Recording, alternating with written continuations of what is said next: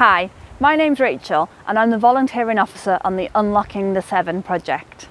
You've joined me at Upper Lode Weir in Tewkesbury for our journey up the Severn this World Fish Migration Day.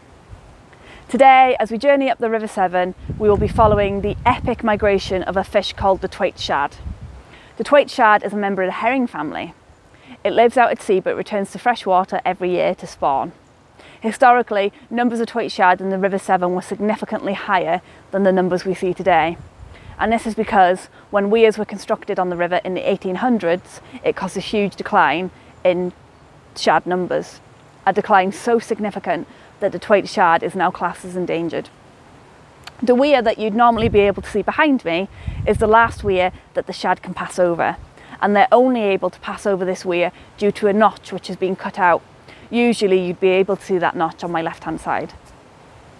Unlike salmon, shad cannot jump over weirs and so these barriers cause significant and severe disruptions to their annual migration.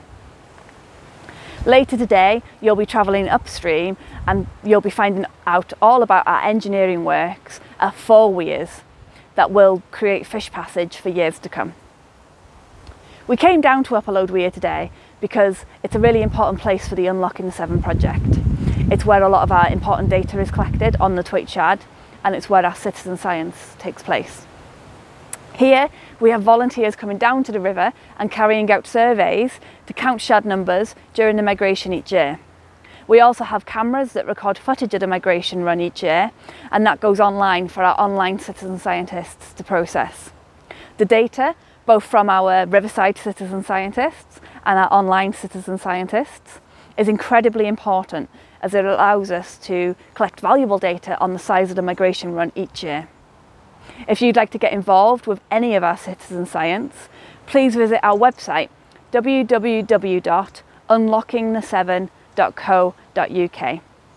We hope you'll join us for our next instalment as we continue our journey up the River Severn this World Fish Migration Day.